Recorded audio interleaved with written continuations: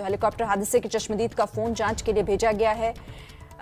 Helicopter crash से पहले के वीडियो से जुड़ी हुई ये बड़ी खबर, वीडियो बनाने वाले का मोबाइल फोरेंसिक जाँच के लिए भेज दिया गया है।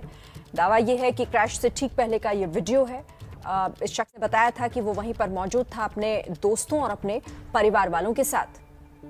तो चश्मदीद का फ़ोन जिसमें इस वीडियो को रिकॉर्ड किया गया था, उसे फॉरेंसिक जाँच के लिए भेजा गया है। बड़ी खबर हेलीकॉप्टर हादसे से जुड़ी हुई, क्योंकि इस पूरे मामले में लगातार जाँच हो रही है। तो ऐसे में ये वीडियो जो कि कहा ये जा रहा था कि ये ठीक हादसे से पहले का वीडियो जो वहाँ पर पर्यटक घूमने के लिए पहुँचे हुए थे, उन्हीं में से एक शख्स ने इसे अपने कैमरे में रिकॉर्ड किया था। और अब इस वीडियो की भी, इस मोबाइल फ़ोन की भी जिससे ये वीडियो बनाया गया, उसका, उसकी जाँच होगी।